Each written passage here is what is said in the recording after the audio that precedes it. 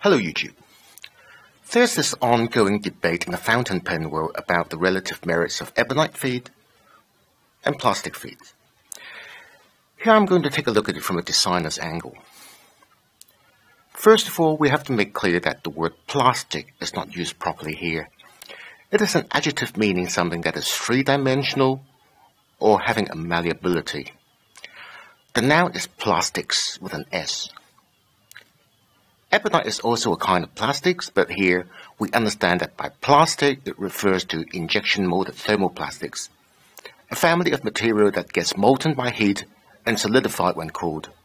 Injection molding is the method for making thermoplastic feeds, but ebonite, which is vulcanized natural rubber, is a thermoset and it needs to be machined into shape. Let's look at what the feed does in a fountain pen top of the feed and the bottom of the nib needs to have good contact between them so that ink forms a thin film in between due to capillary action. When not in use, the film must still be there always, ready for writing, and during writing, ink is pulled out of the nib, and the feed needs to keep supplying it with ink. So the ink film between the nib and the feed acts as a buffer.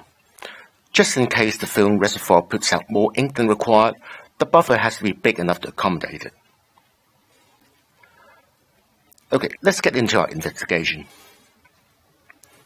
After machining, an ebonite feed tends to have a textured surface, but an injection molded thermoplastic feed is smooth, so ink would tend to wet the former but beads on the latter.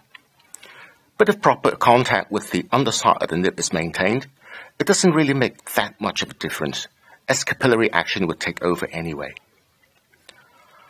By nature, ebonite is more brittle than thermoplastics, so it cannot be machined into intricate shapes, which is easily achieved by injection molding. That does not play very well with the popularity of cartridge converter pens, which needs a feed with a tail like this. This tail fits into the plug that goes into the socket of the cartridge or converter to acquire ink. Ebonite cannot be machined with a tail for the purpose because it will just simply break off. In that sense, a molded thermoplastics feed is obligatory for cartridge converter pens. But for other types of pens like eyedropper, bulk filler, or piston filler, it is still a valid proposition. The same issue carries to the buffer as well. Precision injection molding allows closely packed fins to be created and these gaps work as extra buffer for holding up extra ink. It is possible to machine fins onto ebonite, but they will not be as closely packed. But if ink supply is properly regulated, it is very rare for this extra buffer to kick in. Many early pens do not have finned buffers at all, and they still work perfectly, like this one.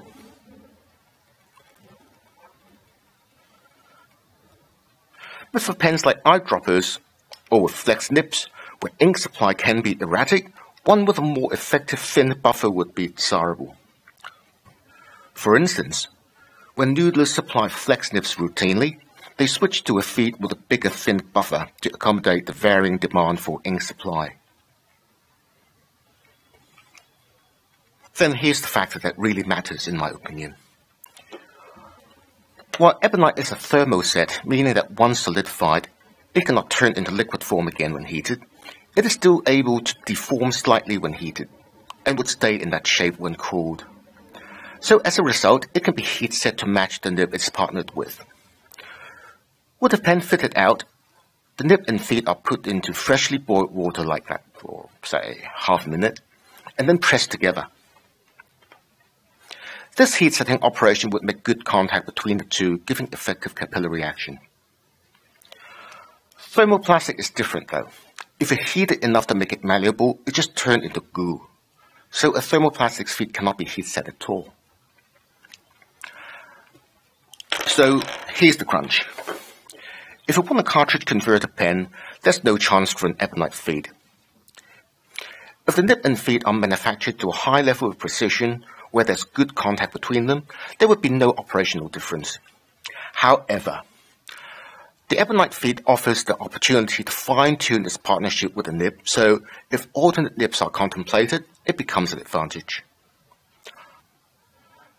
I hope this is of some use, and I'll be back again soon with new content. Bye just for now.